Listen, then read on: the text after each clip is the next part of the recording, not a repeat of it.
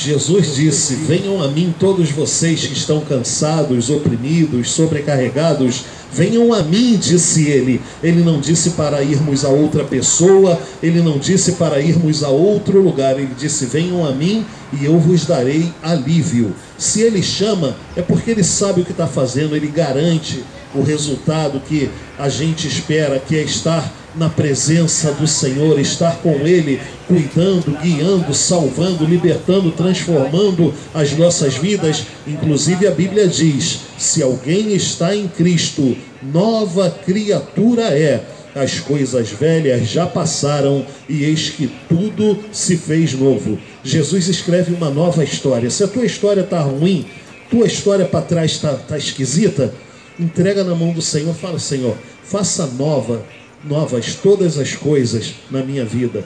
Olha, pode perguntar aí para qualquer pessoa que já entregou o coração, a vida a Jesus, pede para ele testemunhar. Pô, o que, que houve de diferente antes e depois de Cristo na sua vida? Você vai ver quantas coisas maravilhosas Deus faz na vida de pessoas.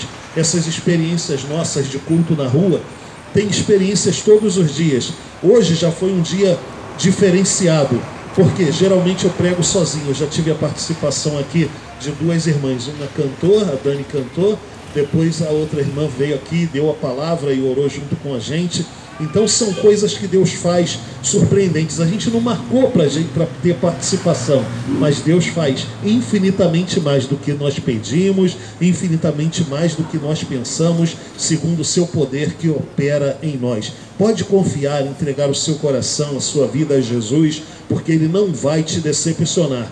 Ele é poderoso para cumprir tudo o que nos prometeu. Jesus não ilude, Jesus não quebra promessa, Jesus não é aquele camarada que vai enganar a gente, ele não necessita disso e também ele não abandona. Jesus certa vez disse: Se uma pessoa vier a mim, de maneira nenhuma eu irei lançá-la fora. Eu quero dizer para vocês que pessoas abandonam Cristo. Tem aí um montão de gente que já serviu ao Senhor mas hoje está desviado. Pessoas abandonam o Evangelho, abandonam a igreja, abandonam Jesus. Mas Jesus não abandona pessoas, Jesus não descarta pessoa alguma. Jesus disse, eu vou repetir: se uma pessoa vier a mim, de maneira nenhuma eu irei lançá-la fora. Tem muita gente que faz piada dizendo assim: todo crente é ex alguma coisa, não é? Sim, até é verdade. Por quê? Porque a sociedade está sempre jogando as pessoas para o lado, está sempre jogando as pessoas para o escanteio. Mas quando chega-se para Jesus, Jesus aceita qualquer tipo de pessoa e escreve uma nova história. Como eu disse, se alguém está em Cristo, é nova criatura, as coisas velhas já passaram e tudo se faz novo. Jesus aceita a pessoa que vem cheia de mágoas, cheia de feridas na alma e no coração, cheia de pecados, cheia de história triste, com um passado terrível. Jesus aceita.